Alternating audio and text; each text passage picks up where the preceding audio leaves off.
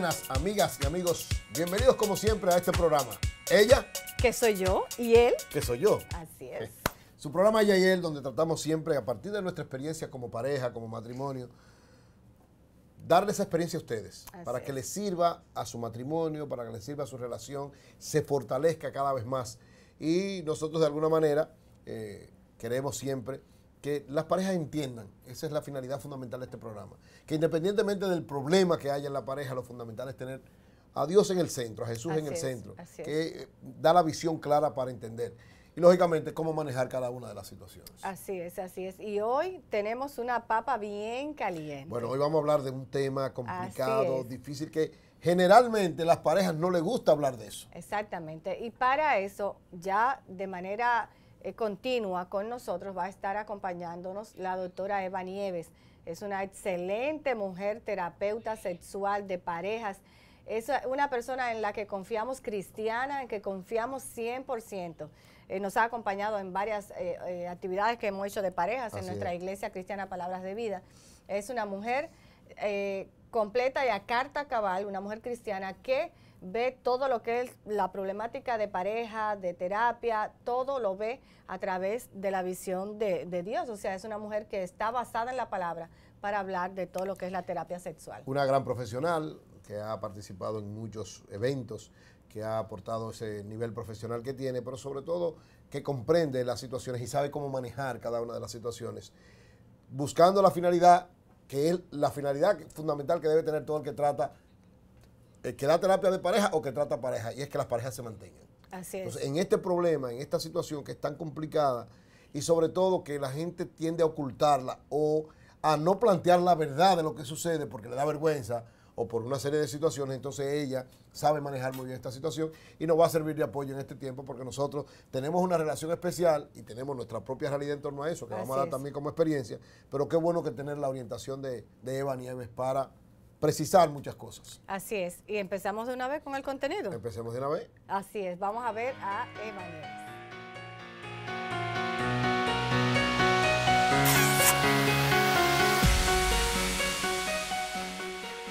¿Qué pasa en la pareja cuando aparece esa inapetencia? Generalmente el marido le dice a la mujer, no sé qué me pasa, pero no tengo deseo. O voy, voy- tengo la relación, pero no siento que tengo toda la energía que requiero para, para ese momento. De igual manera, la mujer pierde interés en cuanto al sexo y dice, no tengo deseo, no quiero, ya no es lo mismo, eh, esto se ha convertido en una rutina, ya no me siento igual, no siento lo mismo. Al fin es que esta, eh, esta situación es algo muy frecuente. Generalmente tanto el hombre como la mujer pudieran en algún momento estar cursando con esta disfunción, que es lo que llamamos deseo sexual eh, hipoactivo o deseo sexual inhibido, que es el- la misma cosa, ¿no? Entonces, ¿qué queremos decir con esto? Es algo muy frecuente que se presenta tanto en la mujer como en el hombre. Y a veces en la primera etapa de la vida eh, suele pasar desapercibido, pero ya cuando la pareja va teniendo cambio en su respuesta sexual o cuando la relación de matrimonio tiene ya más de cinco años, seis años. Generalmente, dependiendo de la calidad de la pareja, podría perderse antes el deseo. ¿Y por qué se pierde el deseo en la pareja? Hay muchísimas razones. Y lo importante de esto es saber que esa inapetencia sexual rara vez es debida a causas orgánicas y está asociada a una disminución de la testosterona tanto en hombre como en mujer como causa orgánica de esta disfunción. Sin embargo, esto no les ocurre con frecuencia. Generalmente la etiología está asociada a condiciones psicológicas, emocional, pero también eh, al ámbito en el que se ha ido desenvolviendo la pareja, el medio en donde se está desenvolviendo la pareja. Si es un hombre o una mujer que están viviendo en constante estrés, muy preocupado, con mucha cosa encima, que se piensa en todo menos en ese momento de intimidad de la pareja. Suele ir esto socavando poco a poco el deseo en la relación sexual entre el marido y la mujer.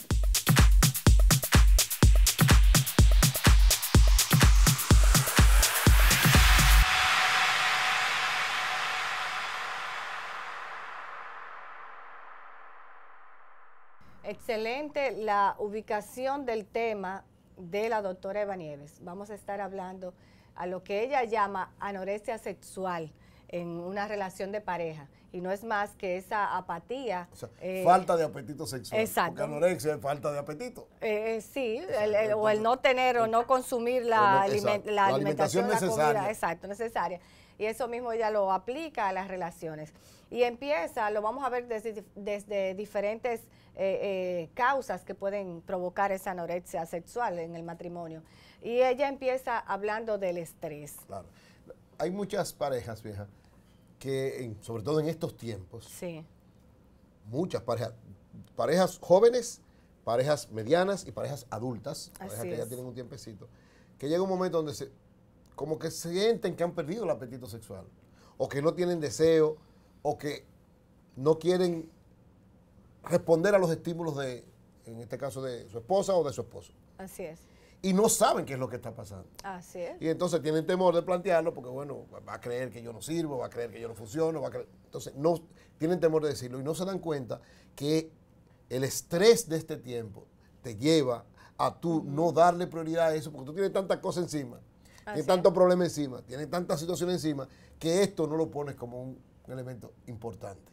O, no te das cuenta que esa acumulación de estrés, esa acumulación de, actividades y el tú no enfocarte en algo eh, eh, eh, específico, te puede provocar un cansancio que tú no sabes dónde sale. Entonces se refleja cuando tú vas a tener relaciones sexuales. Así es. Entonces, como tú dices, tú piensas después que es un problema. No es un problema, es que te has pasado muchísimo tiempo trabajando, te has pasado eh, eh, bregando con situaciones, los niños, el esposo, el trabajo, la, eh, casa, todo eso, refiriéndome específicamente a la mujer, pero también en el hombre. Y se te acumula, el hombre puede ser la cantidad de trabajo en la oficina, el jefe, problemas que no se hizo lo que debió haberse hecho con el trabajo.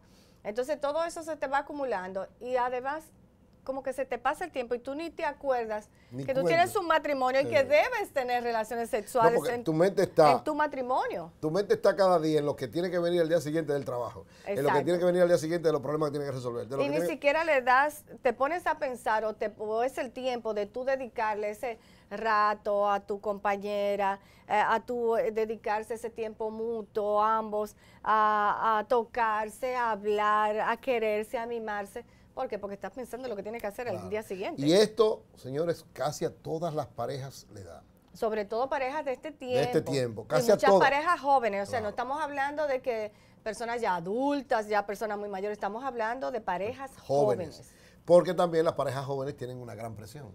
Claro. La presión más en estos de la tiempos. Exacto. Claro. Dos jóvenes, una pareja de jóvenes donde los dos trabajan, o tienen uno o dos trabajos cada uno, se pasan el día entero fuera trabajando. Cuando llegan, están tan cansados, a pesar de que son jóvenes, que tienen mucha potencia sexual, pero están tan cansados, o sea, el estrés lo ha afectado tanto que pierden hasta la noción de lo que es la pareja. Así y por eso cuando viene a ver, pasa un mes, pasan dos meses y ni se acuerdan que tienen que tener relación, porque la relación sexual es muy importante dentro del matrimonio. Así es, así es. Eso a nosotros no ha pasado. Claro, o sea. Ha pasado. a todas las parejas le ha pasado. A todas las parejas. Cuando yo, cuando, a ver, hace, hace un tiempecito, cuando yo estaba más jovencito. Eh, hace mucho. Vieja, tampoco así. Cuando yo estaba jovencito, mi, yo era más efectivo cuando estaba cansado. ¿Tú te acuerdas? Sí, sí. Nosotros pasábamos el día entero trabajando. Y que pero ya no. No, y, es así, realmente. porque acumular el estrés, ese estrés acumulado es un problema. Exacto, y eso es lo que hay que saber. Cuando eso pasa, es como saber identificarlo. Y eso es lo que busca este programa.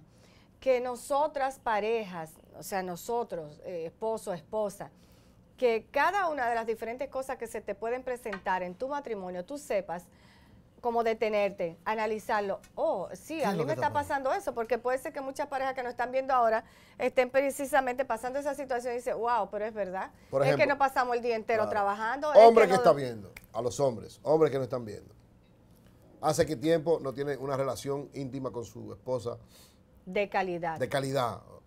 Porque entonces empieza a pensar, ¿Cómo ese trabajo le está afectando? Exacto. ¿Cómo estas preocupaciones te están afectando? O sea, es eso que te bloquea, es eso que no te da, que de que tú llegues estás cansado y lo que quieres es cenar para acostarte o para ver televisión, como una forma de tú botar ese estrés, no sabiendo que precisamente desarrollar una buena relación sexual es una manera de tú recargar las pilas. Así es. Y de tú enfrentar mejor las tareas del otro día. Así es. Entonces, piénsalo, lo que me están viendo, piensen eso. Así es. Y yo te diría que a ti mujer también, que sabemos que tienes el estrés del trabajo, de la casa, del esposo, de los hijos, de la escuela encima, de los hijos. es cierto, pero recuerda que tu relación primaria es con tu marido. Recuerden que el Señor dijo y nos dio, o sea, un hombre para, para eh, su mujer y su mujer para el hombre. Recuérdate que tus hijos mañana se van a ir de la casa y tú te vas a quedar sola con ese hombre. Entonces cultiva lo que es también tus relaciones sexuales es, e, es algo muy importante dentro del matrimonio que sean sanas, que estén bien, que estén eh, eh, funcionando bien. ¿Por qué? Porque eso va a traer paz, tranquilidad a tu hogar, a tu marido, a ti también. Entonces tú también debes preocuparte.